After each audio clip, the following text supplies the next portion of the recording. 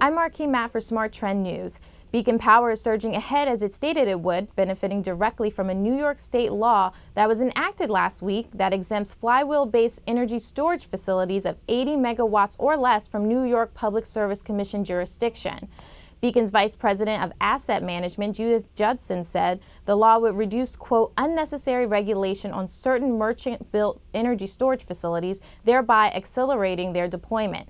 Shares in the Wilmington, Massachusetts based company opened at 35 cents and have traded between 28 cents and $1 over the past 12 months. For more news and market analysis, visit us at tradethetrend.com and subscribe to our YouTube channel, Trade the Trend.